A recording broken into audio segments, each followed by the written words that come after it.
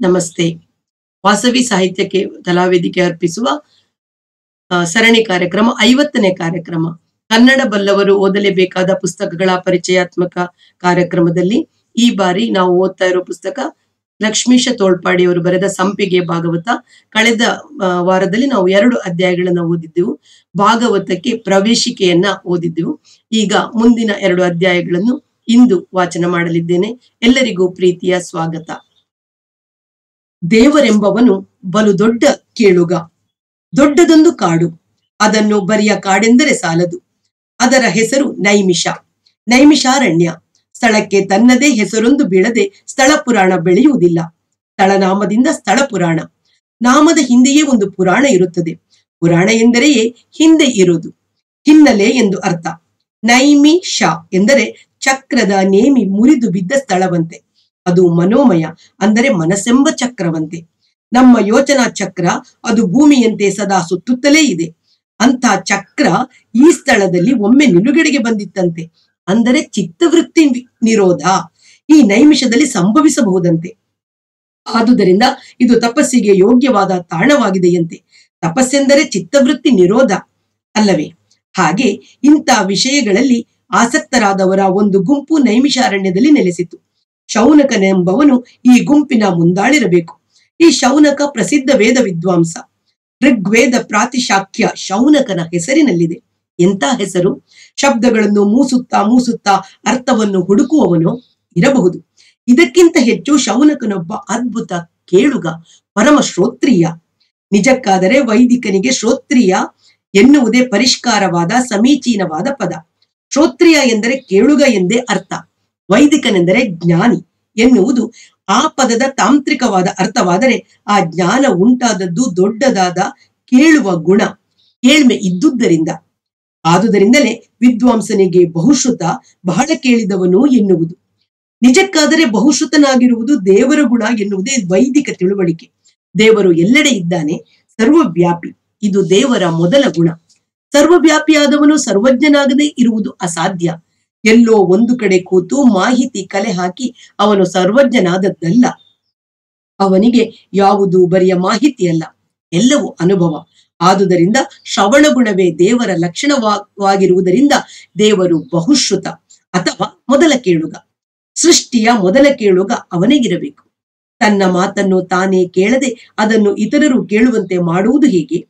ತನ್ನ ಮಾತನ್ನು ತಾನೇ ಕೇಳುವುದು ಎನ್ನುವಾಗ ತನ್ನನ್ನು ತಾನೇ ಸಂಯಮದಲ್ಲಿ ಇಟ್ಟುಕೊಳ್ಳುವುದು ಎಂಬ ಧ್ವನಿ ಕೂಡ ಇದೆ. ವಾಚ್ಯ ಮತ್ತು ಧ್ವನಿ ಈ ಎರಡು ಸ್ತರಗಳಲ್ಲಿಯ ಈ ಮಾತು ಸರಿ. ವಾಚ್ಯದಲ್ಲಿ ಧ್ವನಿ ಅಡಗಿದೆ ಎನ್ನುವುದು ಎಷ್ಟು ನಿಜವೋ, ಧ್ವನಿಯು ವಾಚ್ಯವನ್ನು ಹೊತ್ತಿದೆ ಎನ್ನುವುದು ಅಷ್ಟೇ ನಿಜ. ಧ್ವನಿಯು ವಾಚ್ಯವನ್ನು ಹೊತ್ತದ್ದು ಒಂದು ದೊಡ್ಡ ಅಚ್ಚರಿ. ಒಬ್ಬ ದೊಡ್ಡ ಕೇಳುಗನನ್ನು ಕಲ್ಪಿಸದೆ ಮಾತು ಸೃಷ್ಟಿಶೀಲವಾಗುವುದು ಸಾಧ್ಯವಿಲ್ಲ. ಅವನಾದರೂ ನಿಮ್ಮ ಮಾತನ್ನು ಸೃಷ್ಟಿಶೀಲವಾಗಿಸುವುದಕ್ಕಾಗಿಯೇ ತಾನು ಕೇಳುಗನಾಗಿರುವನೇನೋ ಎಂಬಂತೆ ಇರುವವನಾಗಿರಬೇಕು. ಈ ನಿಜವಾದ ಕೇಳುಗನನ್ನು ಮೆಚ್ಚಿಸುವುದು ಒಂದು ದೊಡ್ಡ ಭಾಗ್ಯ. ಇದು ಸತ್ಯ ಎಂದು ನೀವು ಪಟ್ಟು ಹಿಡಿದರೆ ಅವನು ಮೆಚ್ಚಲಾರ. ಸತ್ಯವೇ ವೇನೆಂದು ತಿಳಿಯುತ್ತಿಲ್ಲ ಎಂದು ನಿಜವಾಗಿ ತೋಡಿಕೊಂಡರೆ ಮೆಚ್ಚಬಲ್ಲನೇ ಏನು? ಆದುದರಿಂದ ನಮ್ಮ ಸಂಕಟಗಳನ್ನು ತೋಡಿಕೊಂಡಾಗ ನಮಗೆ ಸಂತೋಷವಾಗುವುದೋ ಏನು? ಗುಡುಗಿನ ಸದ್ದನ್ನು ನೀವು ವರ್ಣಿಸಿದರೆ ಅವನು ಮೆಚ್ಚಬಲ್ಲ. ಮೂರು ಬಾರಿ ಗುಡುಗಿದ ಸದ್ದು ಮೂರು ಬಾರಿ ದ ದ ದ ಎಂದಂತೆ ಕೇಳಿಸಿತು ಎಂದರೆ ಅವನು ರೋಮಾಂಚಿತನಾಗಬಲ್ಲ. ಹಾಗೆಂದರೆ ದತ್ತ, ದಯ, ದ್ವಂದಮ್ಯತ ಕೊಡು, ದಯೆ ಇಡು, ಇಂದ್ರಿಯ ದಮನ ಮಾಡು ಎಂದರ್ಥವಾಗುತ್ತದೆ. ಎಂದು ಹೇಳಿದಿರಾದರೆ ಅವನು ತಲೆದೂಗುತ್ತಾನೆ. ಎನ್ನುತ್ತದೆ ಉಪನಿಷತ್ತು. ದೇವರು ದೊಡ್ಡ ಕೇಳುಗನೆನ್ನುವ ಈ ಹೊಳಗಿನಿಂದಲೇ ಆಮೇಲೆ ಪ್ರಸಿದ್ಧವಾದ ಕವಿ ಸಹೃದಯ ತತ್ವ ಅರಳಿ ಬಂತೆನ್ನಬಹುದು. ದೇವರು ಕೇಳುಗನೆನ್ನುವ ಕಾಣಿಕೆಗೆ ಸಮಾಂತರವಾಗಿ ಶೌನುಕನೆಂಬ ಕೇಳುಗನ ಚಿತ್ರಣ. ಆಮೇಲಿನ ಎಲ್ಲ ವಾಂಗ್ಮಯಗಳಲ್ಲಿ ಮೂಡಿಬಂತು ಮಹಾಭಾರತದಲ್ಲೂ ಇದೇ ಚಿತ್ರ. ನೈಮಿಷಾರಣ್ಯದಲ್ಲಿ ದೀರ್ಘ ಸತ್ರದಲ್ಲಿ, ಅಂದರೆ ದೀರ್ಘ ಅವಧಿಯ ಯಜ್ಞದಲ್ಲಿ ನೆರೆದಿದ್ದ ಶೌನಕಾದಿಗಳ ಚಿತ್ರ. ಬದುಕನ್ನೇ ಇವರು ದೀರ್ಘ ಸತ್ರ ಎಂದು ಕರೆಯುವುದು. ಈ ಶೌನಕಾದಿಗಳಿಗೆ ಆಗ ತಾನೇ ಕಾಲಿಟ್ಟವರ ಕಲಿಯುಗದ ಕುರಿತಾದ ಚಿಂತೆ ಕಾಡುತ್ತಿತ್ತು. ಎನ್ನುವುದು ಭಾಗವತ ತೆರೆದುಕೊಳ್ಳುವ ರೀತಿ. ಯುಗದ ಚಿಂತೆ, ಲೋಕದ ಚಿಂತೆ ಎನ್ನುವುದು ತಪಸ್ಸಿನ ಇನ್ನೊಂದು ಮುಖ. ಸ್ವಕೇಂದ್ರಿತ ಚಿತ್ತ ವೃತ್ತಿಗಳು ನಿಲುಗಡೆಯಾಗುವುದೇ ತಪಸ್ಸು. ಅದಕ್ಕೆ ನೈಮಿಷ ಯೋಗ್ಯವಾದ ತಾಣ ಎಂಬ ಮಾತು ಬಂದಿತ್ತು. ಚಿತ್ತ ವೃತ್ತಿಗಳು ನಿಲುಗಡೆಯಾದ ಮೇಲೆ ಹುಟ್ಟಿಕೊಳ್ಳುವ ಸಂವೇದನಾ ತರಂಗಗಳು ಲೋಕ ಕೇಂದ್ರಿತವಾಗಿರುತ್ತವೆ ಯುಗ ಧರ್ಮ ಕೇಂದ್ರಿತವಾಗಿರುತ್ತವೆ. ಇನ್ನೊಂದು ರೀತಿಯಲ್ಲಿ ಹೇಳುವುದಾದರೆ ತಪಸ್ಸೆಂದರೆ ಲೋಕ ದುಃಖಾನುಭವದ ಸಾಮರ್ಥ್ಯ. ಲೋಕದ ಅಳಲೆ ತನ್ನ ಅಳಲು. ತನ್ನ ಅಳಲೆನ್ನುವುದು ಬೇರೆ ಇಲ್ಲ. ಲೋಕ ದುಃಖಿತವಾಗಿದ್ದರೆ ತಾನು ಸುಖಿಯಾಗಿರುವುದು ಸಾಧ್ಯವೇ ಇಲ್ಲ. ವೇದೋಪನಿಷತ್ತುಗಳೇನೋ ಆನಂದ ಎನ್ನುತ್ತಿವೆ. ಆನಂದ ಅನುಭವ ಸಾಮರ್ಥ್ಯದ ಆಂತರಿಕ ವಿಕಾಸದ ಚಿತ್ರಣ ಕೊಡುತ್ತವೆ. ಅಕಾಮಹತ ಸ್ಥಿತಿಯ ಪರಮಾನಂದವನ್ನು ಸೂಚಿಸುತ್ತವೆ. ಅದರ ಇನ್ನೊಂದು ಮುಖವೇ ಈ ಲೋಕ ದುಃಖಾನುಭವ ಸಾಮರ್ಥ್ಯ, ಆ, ವಾಗಿರುವಂತಿದೆ. ಉಪನಿಷತ್ತೇನೋ ಸರ್ವಸಂಗ ಪರಿತ್ಯಾಗ ಎನ್ನಬಹುದು. ಆದರೆ ಸರ್ವಸಂಗವಿಲ್ಲದೆ ಪರಿತ್ಯಾಗ ಸಾಧ್ಯವಿಲ್ಲವಲ್ಲ. ಸರ್ವಸಂಗವೆಂದರೆ ಲೋಕಸಂಗ ಲೋಕದ ದುಃಖವೆಲ್ಲ ಆಳವಾಗಿ ತಾಕಿದ ಮನಸ್ಥಿತಿ. ಸ್ವಕೇಂದ್ರಿತತೆ ಕಳೆದುಕೊಂಡ ಮನಸ್ಸಿಗೆ ಇದು ನಿತ್ಯ ಅವಸ್ಥೆ. ಈ ಬೇಯುವಿಕೆಯೇ ತಪಸ್ಸು. ತಪಸ್ಸೆಂಬ ಪದದ ಅರ್ಥವೇ ಇದನ್ನು ಸೂಚಿಸುತ್ತದೆ. ಇದಕ್ಕೆ ಅನುಗುಣವಾಗಿ ಲೋಕದ ದುಃಖವನ್ನೆಲ್ಲ ಹಿಡಿದಿಡಬಲ್ಲ ವಾಂಗ್ಮಯ ಬೇಕಲ್ಲ. ವೇದೋಪನಿಷತ್ತುಗಳು ಇಂಥ ವಾಂಗ್ಮಯಗಳು ಆಗಲಾರವು. ಅದಕ್ಕೆ ಬೇರೆಯೇ ನೆಲೆಯ ಲೌಕಿಕ ನೆಲೆಯ ವಾಂಗ್ಮಯ ಬೇಕು. ಅಂಥ ವಾಂಗ್ಮಯಗಳಿಗೆ ಇತಿಹಾಸ, ಪುರಾಣ, ಕಾವ್ಯಗಳೆಂದು ಹೆಸರು. ಮಹಾಭಾರತವು ಇತಿಹಾಸ, ರಾಮಾಯಣವು ಕಾವ್ಯ, ಭಾಗವತವು ಪುರಾಣ. ಹಾಗೆಂದು ಈ ಮೂರು ಗುಣಗಳು ಒಂದೆರಡನೆ ಒಂದು ತಳಕು ಹಾಕಿಕೊಂಡೇ ಇವೆ. ಮಹಾಭಾರತದಲ್ಲಿ ಕಾವ್ಯವಿಲ್ಲವೇನು? ಭಾಗವತದಲ್ಲಿ ಇತಿಹಾಸವಿಲ್ಲವೇನು? ಇತಿಹಾಸ ಪುರಾಣಗಳು ವೇದೋಪನಿಷತ್ತುಗಳದ್ದೇ ಬೆಳವಣಿಗೆ ಎನ್ನುವುದು ಮಹಾಭಾರತದ ಮಾತು. ಇತಿಹಾಸ ಪುರಾಣಾಭ್ಯಾಂ ವೇದಂ ಸಮುಪಬ್ರಹ್ಮಯೇತ್. ಇತಿಹಾಸ ಪುರಾಣಗಳ ಮೂಲಕ ವೇದದ ಕಾಣಿಕೆಯನ್ನು ಬೆಳೆಸಿರಿ ಎನ್ನುವುದು ಈ ಮಾತಿನ ಮೇಲ್ನೋಟದ ಅರ್ಥ. ಅಲ್ಲಿ ಬೀಜರೂಪವಾಗಿರುವುದು ಇಲ್ಲಿ ವಿಸ್ತಾರಗೊಳ್ಳಬೇಕಿದೆ. ಇತಿಹಾಸ ಪುರಾಣಗಳು ಬಹುತ್ವವನ್ನೇ, ಇತಿಹಾಸ ಪುರಾಣಗಳ ಬಹುತ್ವವನ್ನೇ ವೇದ ಉದ್ದೇಶಿಸಿರುವುದು ಎಂಬರ್ಥ ಕೂಡ ಸ್ಫುರಿಸುತ್ತದೆ. ಬರಿಯ ವೇದಗಳನ್ನು ಕೇಳಿದವ ಅಲ್ಪಶ್ರುತನಂತೆ. ಇತಿಹಾಸ ಪುರಾಣಗಳನ್ನು ಕೇಳಿದವ ಮಾತ್ರ ಬಹುಶ್ರುತನಂತೆ. ಅಲ್ಪಶ್ರುತನಿಂದ ಅಂದರೆ ತನ್ನನ್ನು ಮಾತ್ರ ಕೇಳಿದವನಿಂದ ವೇದಕ್ಕೆ ಇವನು ತನ್ನನ್ನು ಸರಿಯಾಗಿ ತಿಳಿಯದೆ ತಪ್ಪಾಗಿ ತಿಳಿಯುತ್ತಾನಲ್ಲ, ತನ್ನ ತಪ್ಪು ತಿಳುವಳಿಕೆಯನ್ನೇ ಸರಿ ಎನ್ನುತ್ತಾನಲ್ಲ ಎಂದು ಬಹುವಾಗಿ ಹೆದರಿಕೆಯಾಗುತ್ತದಂತೆ.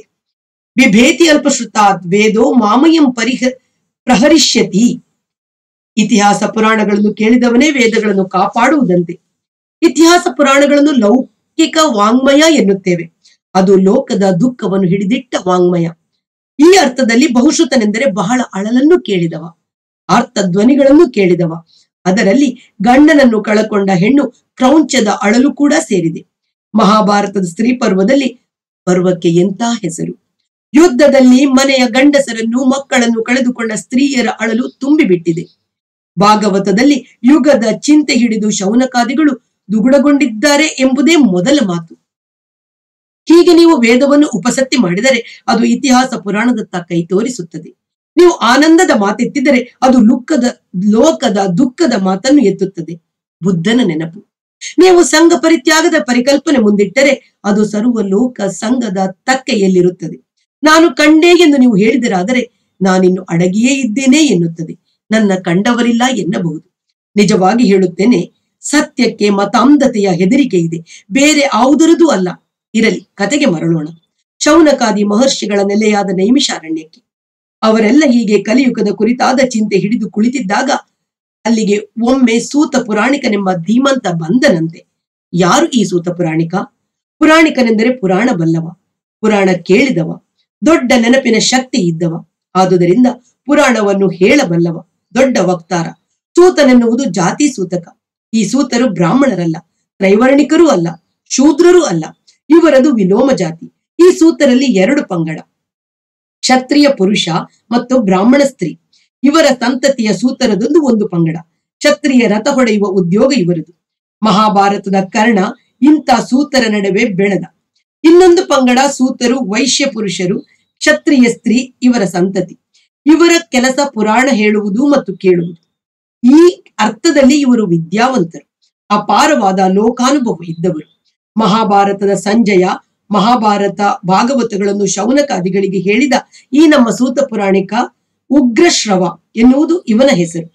ಈ ಪಂಗಡದವರು. ಹೀಗೆ ಶೌನಕನೆಂಬ ಕೇಳುಗ, ಸೂತ ಪುರಾಣಿಕನೆಂಬ ವಕ್ತಾರ. ಇವರಿಬ್ಬರದು ಒಂದು ಜೊತೆ. ಶೌನಕನು ಶ್ರೋತ್ರಿಯ ಬ್ರಾಹ್ಮಣ. ಇದು ಕೇಳುವ ಜಾತಿ. ವಿಲೋಮ ಜಾತಿಯ ಸೂತ ಪುರಾಣಿಕ ಇದು ಹೇಳುವ ಜಾತಿ. ಇಂಥ ಸೂತ ಪುರಾಣಿಕರು ನೈಮಿಷಕ್ಕೆ ಬಂದಿದ್ದನಂತೆ. ಅವರನ್ನು ಸತ್ಕ ಸತ್ಕರಿಸಿ ಶೌನಕಾದಿಗಳು ಹೀಗೆ ಹೇಳಿದರಂತೆ. ಕಲಿಯುಗ ಬಂದು ಬಿಟ್ಟಿತಲ್ಲ ಕೃಷ್ಣನ ನಿರ್ಯಾಣವನ್ನೇ ಕಾಯುತ್ತಿದ್ದಂತೆ ಇತ್ತೇನು? ಮನುಷ್ಯರೆಂಬವರ ಆಯುರ್ಮಾನವೇ ಈ ಯುಗದಲ್ಲಿ ಕಿರಿದು. ಬದುಕಿ, ಬದುಕಿನಲ್ಲಿ ಎಷ್ಟು ತಿಳಿಯುವುದಿದೆ? ತಿಳಿಯುವುದಕ್ಕಾಗಿಯೇ ತಾನೇ ಈ ಬದುಕಿರುವುದು. ಬದುಕೆ ಕಿರಿದಾಗಿ ಹೋದರೆ ಜ್ಞಾನವೂ ಕಿರಿದೆ. ಜತೆಗೆ ತಮ್ಮ ಬದುಕು ಕಿರಿದೆನ್ನುವುದು ಈ ಯುಗದ ಜನರಿಗೆ ತಿಳಿಯುತ್ತಿಲ್ಲ. ಸೂಕ್ಷ್ಮತೆಗೆ ಎರವಾದ ಮನಸ್ಸಿನ ಜನ ಮಂದ ಭಾಗ್ಯರೆನ್ನಬೇಕು ಇದರ ಮೇಲಿಂದ ಎಷ್ಟು ಬಗೆಯ ಆತಂಕಗಳು? ಒತ್ತಡಗಳು, ಪೀಡೆಗಳು ಒಟ್ಟಿನಲ್ಲಿ ಬದುಕೆಂದರೆ ನರಳಾಟ ಎಂಬಂತಾಗಿದೆ. ಹೀಗಿರಲಾಗಿ ಸಾರಭೂತವಾದದ್ದು ಯಾವುದು ಎಂದು ನಿಶ್ಚಯಿಸಿ, ಯಾವುದು ನಾವು ಕೇಳಲೇಬೇಕಾದದ್ದು ಅದನ್ನು ನಮಗೆ ಹೇಳುತ್ತೀಯೇನು? ಯಾವುದರಿಂದ ಮನಸ್ಸು ನಿರ್ಮಲವಾಗುತ್ತದೆ ಅದನ್ನು ಹೇಳು. ಏನಾತ್ಮ ಸಂಪ್ರಸೀದತಿ, ಯಾವುದು ಸಾರಭರಿತವಾದದ್ದು ಎಂದು ನಾವೇ ಯೋಚನೆ ಮಾಡಿದೆವು. ನಮಗಿಷ್ಟು ತಿಳಿಯುತ್ತದೆ. ತಾನಿರುವವರೆಗೆ ಕಲಿಯುಗ ಕಾಲಿಡದಂತೆ ಯಾದವರ ಕುಲದಲ್ಲಿ ಹುಟ್ಟಿದ ಭಗವಂತನಾದ ಕೃಷ್ಣ ಕಲಿಯನ್ನು ತಡೆದಿದ್ದನಂತೆ. ನಿಜಕ್ಕಾದರೆ ಕುರುಕ್ಷೇತ್ರದ ಯುದ್ಧದ ಕೊನೆಯ ದಿನವೇ ಕಲಿಯುಗ ಮೊದಲ ದಿನವಂತೆ. ಎಂತ ದಾರುಣವಾದ ಆರಂಭ. ಪ್ರಿಯರ ರೋದನ ಧ್ವನಿಯಿಂದಲೇ ಈ ಯುಗ ಮೊದಲಾಗುವುದು ಕಲಿಯ ಇಷ್ಟವಾಗಿತ್ತು. ಆದರೆ ಕೃಷ್ಣನಿದ್ದನಲ್ಲ. ಆಮೇಲೆ ತಾನಿದ್ದ ಮೂವತ್ತಾರು ವರ್ಷ ಕಲಿಯನ್ನು ಪ್ರವೇಶಿಸದಂತೆ ತಡೆದಿದ್ದ. ಅಂದರೆ ಅವನು ಯುಗ ಧರ್ಮವನ್ನೇ ಬದಲಿಸಬಲ್ಲ ಎಂದಂತಾಯಿತು ಇದೊಂದು ಸೂಚನೆಯಲ್ಲವೇ ಸೂತ ಪುರಾಣಿಕ? ಕಲಿಯುಗದ ಬಾಳುವೆಗೆ ತಾನೇನು ಕೊಡಬಲ್ಲೆ ಎಂದು ಕೃಷ್ಣ ಸೂಚನೆ ಮಾಡಿದಂತಲ್ಲವೇ? ಅಂತ ಕೃಷ್ಣನ ಕತೆ ಹೇಳುತ್ತೀಯೇನು? ಮಣ್ಣಿನ ಗುಣವೇ ಬದಲಾದೀತೇನು? ಸೂತನಿ, ಸೂತ ಪುರಾಣಿಕನಿಗೆ ಶೌನಕನ ಈ ಮಾತು ಕೇಳಿ ವಿಚಿತ್ರವಾದ ಉದ್ದೀಪನವಾಗಿ ಬಿಟ್ಟಿತು. ಕೃಷ್ಣನೆಂದರೆ ಎಲ್ಲರಲ್ಲೂ ಸಾರ ಅನುಭವವನ್ನು, ಸಾಮರ್ಥ್ಯವನ್ನು ಉದ್ದೀಪಿಸಿದ ಅವತಾರ. ಮತ್ತು ರಸಾನುಭವವೇ ಮಾತಿನ ಅಂಬಲವಲ್ಲವೇ ಕೃಷ್ಣ ಎನ್ನುವುದು ಈ ಕಾಲದ ಪುಣ್ಯ. ಕೃಷ್ಣನ ಕತೆ ಹೇಳು. ಅದನ್ನು ಕೇಳುವುದಕ್ಕೆ ನಾವು ಒಳಗಿನಿಂದ ಸಜ್ಜುಕೊಂಡಿದ್ದೇವೆ ಮತ್ತು ಕಥೆಯನ್ನು ದೀರ್ಘ ಆಲಾಪದಂತೆ ಹೇಳು. ಅಂದರೆ ಹೊತ್ತಿನ ಕಾಳಜಿ ಮಾಡದೆ ಹೇಳು. ಕೃಷ್ಣನ ಕತೆ ಕೇಳುವುದೇ ಹೊತ್ತಿನ ನಿಜವಾದ ಕಾಳಜಿ ಮಾಡಿದಂತೆ ಎಂದು ಶೌನಕಾದಿಗಳು ತನ್ನನ್ನು ಕೇಳಿಕೊಂಡಾಗ ಸೂತ ಪುರಾಣಿಕನಿಗೆ ತನ್ನ ಜಾತಿಯನ್ನೇ ಹೊಗಳಿದಂತೆ ಕೇಳಿಸಿತು. ತನ್ನ ಸ್ವಧರ್ಮವನ್ನು ಹೊಗಳಿದಂತೆ ಕೇಳಿಸಿತು. ಇದರಿಂದ ಆತ ತುಂಬಾ ಉಲ್ಲಾಸಗೊಂಡ. ಉಲ್ಲಸಿತನಾಗದೆ ಚೆನ್ನಾಗಿ ಕತೆ ಹೇಳುವಂತಿಲ್ಲ. ಪುರಾಣಿಕನದು ಇತಿಹಾಸ ಕಥನ ಮಾಡುವ ಜಾತಿ. ಹುಟ್ಟು. ಈ ಅರ್ಥದಲ್ಲಿ ಅವನ ಸ್ವಧರ್ಮವಿದು. ಸ್ವಧರ್ಮವನ್ನು ಆಚರಿಸುವುದೇ ಬದುಕಿನ ಜಯಗಳಲ್ಲಿ ಒಂದು. ಜಯ ಎನ್ನುವುದು ಇತಿಹಾಸಕ್ಕೆ ಕೂಡ ಹೆಸರು. ಮಹಾಭಾರತ ಎನ್ನುವ ಇತಿಹಾಸಕ್ಕೆ ಜಯ ಎನ್ನುವ ಹೆಸರು ಪ್ರಸಿದ್ಧವಾದದ್ದು. ಜಯೋ ನಾಮ ಇತಿಹಾಸೋಯಂ ಅಂದರೆ ವಾಸ್ತವವಾಗಿ ಈ ಹೆಸರು ಮಹಾಭಾರತಕ್ಕೆ ಮಾತ್ರ ಅನ್ವಯವಾಗುವ ಹೆಸರಲ್ಲ. ಹಾಗೆಂದು ಅನೇಕರು ತಿಳಿದುಕೊಂಡಿದ್ದಾರೆ. ಸಮಗ್ರ ವ್ಯಾಸ ಸಾಹಿತ್ಯಕ್ಕೆ ಅಂದರೆ ಹದಿನೆಂಟು ಪುರಾಣಗಳಿಗೂ ಜಯ ಎಂದೇ ಹೆಸರು. ಅಸ್ ಇಷ್ಟೇ ಅಲ್ಲ, ರಾಮಾಯಣಕ್ಕೂ ಜಯ ಎನ್ನಲಾಗಿದೆ. ಜಯ ಎಂದಾಗ ಜಯತಿ ಅನೇನ ಸಂಸಾರಂ ಎಂದು ನಿರ್ವಚನ. ಸಂಸಾರದ ದುಃಖವನ್ನು, ಕಾಲದ ದುಃಖವನ್ನು ಗೆಲ್ಲಬಲ್ಲ ಸಾಹಿತ್ಯ ಎಂದು ಈ ನಿರ್ವಚನದ ಅರ್ಥ. ಭವಿಷ್ಯ ಹೇಳುವ ಬುಡುಬುಡಿಕೆಯವರು ಜಯವಾಗುತ್ತೈತೆ ಜಯವಾಗುತ್ತೈತೆ ಎಂದು ನಮ್ಮ ವಾಕ್ಸರಣಿಯನ್ನು ಪ್ರಾರಂಭಿಸುತ್ತಾರಲ್ಲ. ಅಲ್ಲಿ ಬಂದಿರುವ ಜಯಕ್ಕೆ ಅರ್ಥವಿದು, ಅದರ ಮೂಲವಿದು. ಈ ಎಲ್ಲ ಸಾಹಿತ್ಯಕ್ಕೂ ಜಯ ಎಂದು ಹೆಸರು ಎಂಬ ಉಲ್ಲೇಖವಿರುವುದು ಕೂಡ ಭವಿಷ್ಯ ಪುರಾಣದಲ್ಲಿಯೇ. ಈ ಅರ್ಥದಲ್ಲಿ ಭಾಗವತಕ್ಕೆ ಕೂಡ ಜಯ ಎಂದು ಹೆಸರು. ಕಾಲಕ್ಕೆ ನಮ್ಮನ್ನು ಸೋವಿಸ್ ಸೋಲಿಸುವ ಹವಣು ವಾಂಗ್ಮಯಕ್ಕೆ ನಮ್ಮನ್ನು ಗೆಲ್ಲಿಸುವ ತವಕ. ಪುರಾಣ ಇತಿಹಾಸಗಳನ್ನು ಕಥನ ಮಾಡುತ್ತಿದ್ದರಿಂದ ಸೂತ ಪುರಾಣಿಕನಿಗೆ ವರ್ತಮಾನವನ್ನು ಬರಿಯ ವರ್ತಮಾನ ಎಂದು ಭಾವಿಸುವುದರಲ್ಲಿ ಇರುವ ದುರಂತ ಅರಿವಿಗೆ ಬಂದಿತ್ತು. ವರ್ತಮಾನದಲ್ಲಿ ಇತಿಹಾಸ ಪುರಾಣ ಅಡಗಿದೆ. ಹಾಗೆ ನೋಡಬೇಕು. ವರ್ತಮಾನವನ್ನು ಬರೆಯ ವರ್ತಮಾನವೆಂದು ಭಾವಿಸುವವನಿಗೆ ಬಿಡುಗಡೆ ಬಿಡುಗಡೆಯ ಕಲ್ಪನೆಯೇ ಇಲ್ಲ. ಕಾಲ ಪ್ರವಾಹದ ಕಲ್ಪನೆಯೂ ಇಲ್ಲ. ಪ್ರವಾಹದ ಕಲ್ಪನೆ ಇದ್ದರೆ ದಡ ಸೇರುವ ಕಲ್ಪನೆಯೂ ಇರುತ್ತದೆ. ಇಂಥ ಕಲ್ಪನೆ ಇಲ್ಲದ ಮಂದಿಗೆ ಧರ್ಮ, ಅರ್ಥ ಮತ್ತು ಕಾಮಗಳೆಂಬ ತ್ರಿವರ್ಗಗಳು ಮಾತ್ರ ಪುರುಷಾರ್ಥಗಳು. ನಾಲ್ಕನೆಯದಾದ ಮೋಕ್ಷವಿಲ್ಲದೆ ಇವು ಮೂರೇ ಆದರೆ ಈ ಪರಸ್ಪರ, ಈ ಮೂರರ ಪರಸ್ಪರ ಸಂಬಂಧ ಕೂಡ ವಿಕೃತವಾಗು, ವಾಗುತ್ತದೆ. ಧರ್ಮವು ಅರ್ಥಕ್ಕಾಗಿ ಇರೋದು, ಅರ್ಥವು ಕಾಮಕ್ಕಾಗಿ ಇರೋದು ಮತ್ತು ಕಾಮವೇ ಮೋಕ್ಷ ಎಂಬವರು ಇವರು. ಇಂಥವರ ನಡುವೆ ಸೂತ ಪುರಾಣಿಕನಿಗೆ ಕೆಲಸವೇ ಇರುವುದಿಲ್ಲ. ಇದಕ್ಕೆ ಬದಲಾಗಿ ಅರ್ಥ ಸಂಪಾದನೆ ಮತ್ತು ಕಾಮವೆಂಬ ನೈಸರ್ಗಿಕ ಉದ್ವೇಗದ ಶಮನ. ಇವು ಧರ್ಮಾಚರಣೆಯನ್ನು ಶಾಂತ ಭಾವದಿಂದ ನಡೆಸುವುದಕ್ಕಾಗಿ ಮತ್ತು ಧರ್ಮಾಚರಣೆಯು ಮೋಕ್ಷವೆಂಬ ಈ ಎಲ್ಲದರಿಂದ ಪಡೆಯುವ ಬಿಡುಗಡೆಗಾಗಿ ಎಂಬ ತಿಳುವಳಿಕೆ ಬರಬೇಕಾದರೆ ವರ್ತಮಾನದಲ್ಲಿ ಇತಿಹಾಸ ಪುರಾಣವನ್ನು ನೋಡಬೇಕು. ಇತಿಹಾಸ ಪುರಾಣ ಎಂದಾಗ ಸಮುದಾಯದ ಕತೆ ಎಂದು ಮಾತ್ರವಲ್ಲ, ಮನುಷ್ಯನ ಕಥೆಯಲ್ಲಿ ಗೊತ್ತಿಲ್ಲದಂತೆ ಭಗವಂತನ ಕತೆ ಕೂಡ ಹುದುಗಿದೆ ಎಂಬ ಅರ್ಥದಲ್ಲಿ ನೋಡಬೇಕು. ಹಾಗೆ ನೋಡಲ್, ನೋಡಲು ಆಗದಿದ್ದರೆ ಎಲ್ಲವೂ ಕರ್ಮಕಾಂಡವೇ ಆಗಿಬಿಡುತ್ತದೆ. ಆಗ ಅರಿವಿಗೆ ಜಾಗವಿಲ್ಲ. ಅರಿವೆಂದರೆ ಆಳದ ತಾತ್ಪರ್ಯ. ತಾತ್ಪರ್ಯದಲ್ಲಿ ಸಿಗಬೇಕಾದರೆ ತತ್ಪರನಾಗಿ ನೋಡಬೇಕು. ತತ್ಪರನಾಗಿ ನೋಡಿದರೆ ನಾವು ನಡೆಯುತ್ತಿರುವ ದಾರಿಯಲ್ಲಿ ಇನ್ನಾರದು ಹೆಜ್ಜೆ ಗುರುತುಗಳು ಕಾಣಿಸಿಕೊಳ್ಳಬಹುದು. ತನ್ನ ಹೆಜ್ಜೆ ಮೂಡದಂತೆ, ಇದ್ದು ಇಲ್ಲದಂತೆ, ನಮಗೆ ಒಂದೆನಿತು ಗೊತ್ತಾಗದಂತೆ ನಮ್ಮೊಡನೆ ಹೆಜ್ಜೆ ಹಾಕಿದ ಭಗವಂತನ ನಡೆಯ ಕುರುತು ಕೂಡ ಗೊತ್ತಾಗಬಹುದು. ಆಗ ವರ್ತಮಾನವೆಂದರೆ ಇತಿಹಾಸ ಪುರಾಣ ಎಂದು ಕೂಡ ಹೊಳೆಯಬಹುದು. ಈ ಅರ್ಥದಲ್ಲಿ ಇತಿಹಾಸ ಪುರಾಣ ಎನ್ನುವ ವಾಂಗ್ಮಯ ಆಧ್ಯಾತ್ಮನಿಷ್ಠವಾದದ್ದು ಎಂದ ಸೂತ ಪುರಾಣಿಕ. ವೇದವನ್ನು ನೀವು ಬರೆಯ ಕರ್ಮಕಾಂಡವೆಂದು ನೋಡಿದಿರೋ ಏನೋ ಸಿಗಬಹುದು. ವ್ಯರ್ಥವಾಗಲಿಲ್ಲ ಎಂದುಕೊಳ್ಳಬಹುದು ನೀವು. ಆದರೆ ವೇದದ ತಾತ್ಪರ್ಯ ಮಾತ್ರ ಸಿಗಲಿಲ್ಲ. ವೇದ, ಯಜ್ಞ, ಯಾಗಾದಿಗಳು, ಯೋಗ ಯಾವುದೇ ಇರಲಿ. ತಾತ್ಪರ್ಯ ಸಿಗದೇ ಇದ್ದ ತಿಳುವಳಿಕೆಗಳೆಲ್ಲವೂ ಕರ್ಮಕಾಂಡಗಳೇ. ಕರ್ಮಕಾಂಡವೆಂದರೆ ನಮ್ಮ ಆಸೆ, ಆಕಾಂಕ್ಷೆಗಳ ಪರಿಚಿತ ಪ್ರಪಂಚ. ನಮಗೆ ಗೊತ್ತಿದ್ದದ್ದೇ ಬೇರೆಯಲ್ಲ, ನಮಗೆ ಗೊತ್ತಿರುವಂಥದ್ದು ಎಷ್ಟೇ ಆಪ್ಯಾಯಮಾನವಾದರೂ ಅದು ನಮ್ಮನ್ನು ಬದಲಾಯಿಸಲಾರದು, ಅಂದರೆ ಬಿಡುಗಡೆ ಮಾಡಲಾರದು. ಆದರೆ ವೇದಗಳ ತಾತ್ಪರ್ಯ ಒಂದು ಬೇರೆಯೇ ಇದೆ. ತತ್ಪರವಾಗದೆ ಅದು ಸಿಗುವುದಿಲ್ಲ. ಆ ತಾತ್ಪರ್ಯವನ್ನು ಇತರಹ, ಅಂದರೆ ನಮಗೆ ಗೊತ್ತಿರುವ ಎಲ್ಲದಕ್ಕಿಂತ ಬೇರೆಯಾದದ್ದು ಎಂದು ಉಪನಿಷತ್ತು ಕರೆದಿದೆ. ಆ ಎಲ್ಲದಕ್ಕಿಂತ ಬೇರೆಯಾದದ್ದು ಸಿಕ್ಕಿದರೆ ನಾವು ಕೂಡ ಬೇರೆಯೇ ಆಗುವೆವು. ನಾವು ಈಗಿನ ನಾವಲ್ಲದೆ ಬೇರೆಯೇ ಆದರೆ ಈಗಿನ ನಮ್ಮನ್ನು ಹುಟ್ಟಿಸಿ, ಬೆಳೆಯಿಸಿ, ಜರಾಶೀರ್ಣಗೊಳಿಸಿ ಸಾಯಿಸುವ ಕಾಲ ತಾನು ಸೋಲುಣ್ಣಬೇಕಾಗುತ್ತದೆ ಎಂದ ಸೋ, ಸೂತ ಪುರಾಣಿಕ. ತತ್ಪರನಾಗಬೇಕಾದರೆ ಇದರಿಂದ ತನಗೇನು ಪ್ರಯೋಜನ ಎಂಬ ಸದಾ ಮನುಷ್ಯರನ್ನು ಆವರಿಸಿಕೊಂಡಿರುವ ಸ್ವಲಾಭ ಚಿಂತನೆಯನ್ನು ಮೀರಿದ ಸಂವೇದನೆ ಇರಬೇಕು. ಇಂಥ ಸಂವೇದನೆ ಭಕ್ತಿಯಾಗಿ ಪರಿಣತವಾಗುವುದು. ಇಂತಹ ಭಕ್ತಿಗೆ ಅಹೇತುಕ ಭಕ್ತಿ ಎನ್ನುತ್ತಾರೆ. ಅಹೇತುಕವೆಂದರೆ ಆಸೆಗಳನ್ನು ಈಡೇರಿಸಿಕೊಳ್ಳಬೇಕೆಂಬ ಹಿನ್ನೆಲೆಯನ್ನು ಬಿಟ್ಟುಕೊಟ್ಟದ್ದು. ಕೊಡು ಕೊಳು ವ್ಯವಹಾರ ಸ್ಪರ್ಶವೇ ಇಲ್ಲದ್ದು ಎಂದು ಅರ್ಥ.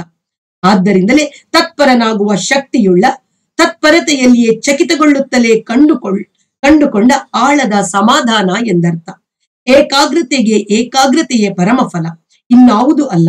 ಇನ್ನಾವುದು ಬೇಕಿಲ್ಲ ಎಂದು ಏಕಾಗ್ರತೆಯನ್ನು ಅನುಭವಿಸಿದಾಗಲೇ ಗೊತ್ತಾಗುತ್ತದಲ್ಲವೇ? ಸವೈ ಪುಂಸಾಂ ಪರೋಧರ್ಮ ಯಥೋ ಭಕ್ತಿ ಭಕ್ತಿರಜ ದೋಕ್ಷಜೆ.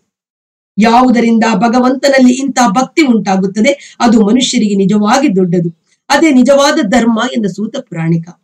ಕೃಷ್ಣನ ಕತೆ ಎಂದಿರಲ್ಲ, ಅದು ಇತಿಹಾಸವೆಂದರೆ ಇತಿಹಾಸ, ವರ್ತಮಾನವೆಂದರೆ ವರ್ತಮಾನ, ಇನ್ನು ಬಿಸಿ ಆರಿಲ್ಲ. ಅಷ್ಟು ಈಚೆಗೆ ನಡೆದ ಕತೆ. ವಾಸುದೇವನೆಂದರೆ ಸಾತ್ವತ ವಂಶದ ವಸುದೇವನ ಮಗನಾದ ಕೃಷ್ಣ ಎಂದು ಹೇಗೆ ಅರ್ಥವೋ ಹಾಗೆಯೇ ಎಲ್ಲೆಡೆ ತುಂಬಿ ತನ್ನ ಬೆಳಕಿನಿಂದಲೇ ಎಲ್ಲವನ್ನು ಜೀವಂತವೆಂಬಂತೆ ತೋರಿಸುವವನು ಎಂದರ್ಥ. ಈ ಅರ್ಥದಲ್ಲಿ ವಾಸುದೇವನೆಂದರೆ ದೇವರೇ. ಭಗವಂತನೇ, ಕೃಷ್ಣ ಈ ಎರಡು ಅರ್ಥಗಳಲ್ಲಿಯೂ ವಾಸುದೇವ. ಅಂದರೆ ನಿಜವಾದ ವಾಸುದೇವ. ಎಲ್ಲೆಡೆ ಇದ್ದಾನೆ ಎಂದರೆ ಎಲ್ಲೆಡೆ ತತ್ಪರನಾಗಿದ್ದಾನೆ. ತತ್ಪರನಾಗಿರುವವನೇ ನಿಜವಾದ ತತ್ ತಾತ್ಪರ್ಯವಲ್ಲವೇ. ಹಾಗೆಯೇ ವೇದಗಳಲ್ಲಿಯೂ ಇದ್ದಾನೆ. ಆದುದರಿಂದ ವೇದಗಳ ನಿಜವಾದ ತಾತ್ಪರ್ಯವಾಗಿದ್ದಾನೆ ಈ ವಾಸುದೇವ. ವಾಸುದೇವ ಪರ ವೇದಾಹ, ವಾಸುದೇವ ಪರ ಮಕಾಹ, ವಾಸುದೇವ ಪರಂ ಜ್ಞಾನಂ, ವಾಸುದೇವ ಪರಂ ತಪಃ. ಎಲ್ಲ ವೇದಗಳ ಅಂತರಾರ್ಥ. ಎಲ್ಲ ಯಜ್ಞ ಕರ್ಮಗಳ ಅಂತರಾರ್ಥ. ಎಲ್ಲ ಜ್ಞಾನ ತಪಸ್ಸುಗಳ ಧ್ಯೇಯ ಎಲ್ಲೆಡೆ ಇರತಕ್ಕ ಈ ವಾಸುದೇವ. ಏನು ಅಚ್ಚರಿಯಾಯಿತೆ? ವೇದಗಳ ಕಾಲ ಯಾವುದು? ದ್ವಾಪರದ ಕೃಷ್ಣನ ಕಾಲ ಯಾವುದು ಎಂದು? ಆಹಾ, ಕಾಲ ಚಕ್ರಾಕಾರವಾಗಿದೆ. ಕಾಲಚಕ್ರ ಅಂದರೆ ಕಾಲ ತಾನು ಮಣಿಯುತ್ತಲೇ ಚಲಿಸುತ್ತಿದೆ. ಅದು ನೇರ ತಲೆ ಎತ್ತಿ ಅಹಂಕಾರದಿಂದ ನಡೆಯುತ್ತಿಲ್ಲ. ಕಾಲದಂತಹ ಕಾಲ ಯಾರಿಗೆ ಮಣಿಯಬೇಕಾಗಿದೆ ಎಂದು ಕೇಳುತ್ತೀರೇನು? ಕಾಲ ಮಣಿಯುವುದು ತತ್ಪರನಾದವನಿಗಲ್ಲವೇ? ಏಕೆಂದರೆ ತತ್ಪರನಾದವನು ಸ್ತಬ್ಧನಾಗಿರುತ್ತಾನೆ. ಸ್ತಬ್ಧತೆಯಲ್ಲಿ ಕಾಲ ಚಲಿಸುವುದಿಲ್ಲ. ನಿಶ್ಚಲವಾಗಿರುತ್ತದೆ. ತನ್ನನ್ನು ನಿಶ್ಚಲಗೊಳಿಸುವವನಿಗೆ ಕಾಲ ಮಣಿಯುತ್ತದೆ. ಅಂತವನನ್ನು ಹುಡುಕುತ್ತಲೇ ಇದೆಯೇನು? ಅಂತವನು ನಮ್ಮ ಕೃಷ್ಣ. ಆದುದರಿಂದ ಅವನ, ಅವನನ್ನು ಈ ಕಾಲದ ಪುಣ್ಯ, ಈ ಯುಗದ ಪುಣ್ಯ ಎನ್ನುತ್ತೇವೆ. ಇಂಥದ್ದೊಂದು, ಇಂಥದ್ದೊಂದನ್ನು ಹುಡುಕುವುದು, ಹುಡುಕಿ ಪಡೆಯುವುದು ತಾನೆ ಎಲ್ಲ ಜ್ಞಾನದ, ಎಲ್ಲ ತಪಸ್ಸಿನ ಗುರಿ. ಆದ್ದರಿಂದ ತಪಸ್ವಿಗಳಾದ ನಿಮಗಿದು ತಿಳಿಯುತ್ತದೆ. ಇಂಥ ಕೃಷ್ಣನ ಕತೆ ನಾನು ಸಾಕ್ಷಾತ್ ಶುಕ ಮುನಿಗಳ ಮುಖದಿಂದ ಕೇಳಿದೆನಲ್ಲ. ಆ ಸುಖ ರೋಮಾಂಚನಕ್ಕೆ ಹೋಲಿಕೆಯೇ ಇಲ್ಲ. ಅವರು ಭಾಗವತವನ್ನು ಹೇಳಿದ ಸನ್ನಿವೇಶವಾದರೂ ಎಂಥದ್ದು ಎನ್ನುತ್ತೀರಿ? ಶಾಪಗ್ರಸ್ತನಾದ ಪ್ರಾಯೋಪೆ, ಪ್ರಾಯೋಪವೇಶಕ್ಕೆ ಸಿದ್ಧನಾಗಿದ್ದ ಪರೀಕ್ಷಿತ್ ರಾಜನಿಗೆ ಹೇಳಿದ್ದು ಎಂತ ಕೇಳುಗ? ಹೇಳಿದವರು ನಿರ್ಗ್ರಂಥಿ ಮುನಿ, ಅಂದರೆ ದೇಹದ ಎಲ್ಲ ಗ್ರಂಥಿಗಳ ಪ್ರಭಾವದಿಂದ ಮುಕ್ತರಾದವರು. ಅಂತ ಶುಕಮುನಿಗಳಿಗೆ ಪ್ರಿಯವಾದ ಗ್ರಂಥ, ಕೇಳುತ್ತಿದ್ದ ಗುಂಪಿನಲ್ಲಿ ನಾನು ಒಬ್ಬನಾಗಿ ಕುಳಿತು ಕೇಳಿದೆ. ನನ್ನ ಕಿವಿ ತುಂಬಿದುದನ್ನು ನಿಮಗೆ ಯಥಾಮತಿ ಹೇಳುತ್ತೇನೆ ಎಂದ ಸೂತ ಪುರಾಣಿಕ. ಶೌನಕಾದಿಗಳಿಗೆ ವೇದದ ತಾತ್ಪರ್ಯ ಸಿಕ್ಕಿದಷ್ಟು ಸಂತೋಷವಾಯಿತು. ಪ್ರಶ್ನೆಗಳು ಹುಟ್ಟಿಕೊಂಡವು. ನಾಡಿನ ದೊರೆಯಾದ ಪರೀಕ್ಷಿತ ರಾಜ ಪ್ರಾಯೋಪವೇಶ, ಅಂದರೆ ದೇಹತ್ಯಾಗಕ್ಕೆ ಸಿದ್ಧನಾದುದೇಕೆ? ನಿಂತಲ್ಲಿ ನಿಲ್ಲದ ಅವಧೂತ ಶುಕಮುನಿ ರಾಜನನ್ನು ಹುಡುಕಿಕೊಂಡು ಬಂದರೆ ಇದೆಲ್ಲ ನಡೆದುದು ಇಲ್ಲಿ? ಎಲ್ಲದಕ್ಕಿಂತ ಇಂಥ ಭಾಗವತನು, ಭಾಗವತವನ್ನು ರಚನೆ ಮಾಡಿದರಲ್ಲ ವೇದವ್ಯಾಸರು? ಅವರಿಗೆ ಈ ಕೃತಿಯ ರಚನೆಯ ಹಿಂದೆ ಇದ್ದಿರಬಹುದಾದ ಒತ್ತಡಗಳು, ಪ್ರೇರಣೆಗಳು ಯಾವುವು? ಶುಕ ಮತ್ತು ವ್ಯಾಸ. ಸಂಬಂಧವಾಗಿ ಶೌನಕಾದಿಗಳು ಒಂದು ಕತೆ ಕೇಳಿದ್ದರು. ಈಗ ಆ ಕತೆ ಶೌನಿಕರಿಗೆ ನೆನಪಾಯಿತು. ಇದು ಈ ಮೊದಲು ಬಂದ ಮರಗಳು ಓಗೊಟ್ಟ ಕತೆ ಇದೆಯಲ್ಲ? ಆ ಕತೆ ಹೀಗೆ. ವಿರಕ್ತ ಶುಕಮುನಿ ಮನೆ ಬಿಟ್ಟು ಹೊರಟಿದ್ದಾನಂತೆ. ಹೊರಟಿದ್ದಾನೆ. ಮನೆ ಬಿಟ್ಟು ಹೊರಟವ ಸುತ್, ಮನೆ ಬಿಟ್ಟು ಹೊರಟವನ ಸುತ್ತ ಎಷ್ಟು ಕತೆಗಳು? ಎಂತ ವಿರಕ್ತನೆಂದರೆ ತರುಣನಾಗಿದ್ದರೂ ಬರಿಯ ದಿಗಂಬರನಾಗಿ ನಡೆದು ಬಿಟ್ಟಿದ್ದಾನೆ. ಬತ್ತಲಾಗದೆ ಬಯಲು ಸಿಕ್ಕದ್ದಿಲ್ಲಿ ಎಂದು ಕಂಡುಕೊಂಡಂತೆ. ವ್ಯಾಸ ಮಹರ್ಷಿಯಾದರೂ ಮಗನನ್ನು ಅಗಲಿರ ಅಗಲು ಇರಲಾರದೆ ತರುಣ ಮಗನನ್ನು ದೂರದಿಂದಲೇ ಹಿಂಬಾಲಿಸುತ್ತಿದ್ದಾರೆ. ದಾರಿಯಲ್ಲಿ ಒಂದು ಕೊಳ. ಅಲ್ಲಿ ಕೆಲವು ಹೆಣ್ಣು ಮಕ್ಕಳು ಬಟ್ಟೆ ಬಿಚ್ಚಿ ಮೀಯುತ್ತಿದ್ದಾರೆ. ಕೊಳದ ಪಕ್ಕದ ದಾರಿಯಲ್ಲಿ ನಗ್ನ ಶುಕ ನಡೆದು ಹೋಗುತ್ತಿದ್ದಾನೆ. ಈ ಹೆಣ್ಣು ಮಕ್ಕಳು ಅವನನ್ನು ನೋಡಿದ್ದಾರೆ. ತಮ್ಮ ಪಾಡಿಗೆ ತಾವು ಸಂಭ್ರಮದಿಂದ ಮೀಯುತ್ತಲೇ ಇದ್ದಾರೆ. ದೂರದಿಂದಲೇ ವ್ಯಾಸರು ಇದನ್ನು ಗುರುತಿಸಿದ್ದಾರೆ. ಮಗನು ನಡೆದ ದಾರಿಯಲ್ಲಿ ನಡೆಯುತ್ತಾ ವೃದ್ಧ ವ್ಯಾಸರು ಕೊಳದ ಬಳಿ ಬಂದಿದ್ದಾರೆ. ವ್ಯಾಸರನ್ನು ನೋಡಿದ ಕೂಡಲೇ ದೇವತೆಗಳಂತಿರುವ ಈ ಹೆಣ್ಣು ಮಕ್ಕಳು ನಾಚಿಕೊಂಡು ಗಡಿಬಿಡಿಯಿಂದ ನೀರ ಮೇಲಕ್ಕೆ ಬಂದು ಬಟ್ಟೆ ಉಟ್ಟುಕೊಳ್ಳುತ್ತಿದ್ದಾರೆ. ವ್ಯಾಸರಿಗೆ ಅಚ್ಚರಿಯಾಯಿತು, ವಿವಂಚನೆಯಾಯಿತು. ಕತೆಗಾರ ತನ್ನ ಹಿಡಿತಕ್ಕೆ ಬರಲೊಲ್ಲದ ಪಾತ್ರದೊಡನೆ ಸೋಲಲು ಸಿದ್ಧನಾಗಿ ಅದನ್ನು ಮಾತನಾಡಿಸುವವನಂತೆ ವ್ಯಾಸರು ಈ ಹೆಂಗಸರ ಈ ವಿಲಕ್ಷಣ ವರ್ತನೆಗೆ ಕಾರಣ ಕೇಳಿದ್ದಾರೆ. ಆ ಹೆಣ್ಣು ಮಕ್ಕಳು ಹೀಗೆ ಹೇಳಿದ್ದಾರಂತೆ ಹೇಳಿದರಂತೆ, ಹೌದು, ನಾವು ಶುಕನನ್ನು ನೋಡಿದೆವು. ಅದ್ವಯವಾದ ಪ್ರಜ್ಞೆಯನ್ನೇ ನೋಡಿದಂತಾಯಿತು.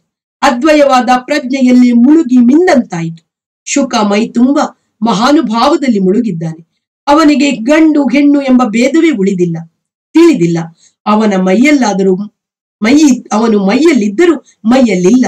ಮೈ ಬಿಟ್ಟ ನಡೆ ಅವನದು. ನಿಜ ಹೇಳುತ್ತೇವೆ ವ್ಯಾಸ ಮಹರ್ಷಿಗಳೇ. ಇಂಥವನ ಒಬ್ಬನನ್ನು ಕಂಡು ನಮ್ಮ ಹೆಂಡತನ ಕೃತಾರ್ಥವಾಯಿತು. ಅವನದು ಮೂಲ ಮುಗ್ಧತೆ. ಅವನನ್ನೇ ನೋಡುತ್ತಿದ್ದೆವು. ಅವನು ಕಣ್ಮರೆಯಾದ ಮೇಲೆ ಅವನನ್ನು ಪಡೆದ ತಾಯಿಯನ್ನು ಕುರಿತು ಚಿಂತಿಸುತ್ತಿದ್ದೆವು. ಆಗ ನೀವು ಬಂದಿರಿ. ನಿಮ್ಮನ್ನು ನೋಡಿದೆವು. ನಿಜ ಹೇಳುತ್ತೇವೆ ಮಹರ್ಷಿಗಳೇ, ನೀವು ದೊಡ್ಡವರು, ದೊಡ್ಡ ಜ್ಞಾನಿಗಳು. ಆದರೆ ನಿಮ್ಮಲ್ಲಿ ಗಂಡು ಹೆಣ್ಣೆಂಬ ಭೇದ ಕೆಲಸ ಮಾಡುತ್ತಿದೆ. ನೀವು ನೀವು ನಮ್ಮನ್ನು ನಾಚಿಸಿ ಬಿಟ್ಟಿರಿ ತವಾಸ್ತಿ ಸ್ತ್ರೀ ಪುಂಬಿದ ನತು ಸುತಸ್ಯ. ಈ ಕಥೆಯನ್ನು ಶೌನಕಾದಿಗಳು ಕೇಳಿದ್ದರು. ಸೂತನೊಡನೆ ಈಗ ಇದನ್ನು ಮತ್ತೊಮ್ಮೆ ನೆನಪು ಮಾಡಿಕೊಂಡರು. ಸೂತ ಪುರಾಣಿಕರಾದರೂ ಕತೆಗಾರನಿಗೆ ನಿಜವಾದ ವಿರಕ್ತನು, ನಿಕಷ, ಒರೆಗಲ್ಲು. ವ್ಯಾಸರ ವ್ಯಾಸರ ಸಂದರ್ಭದಲ್ಲಾದರೂ ಆ ನಿಕಷ ಅವರ ಮನೆಯಲ್ಲೇ ಹುಟ್ಟಿತು ಎಂದನಂತೆ.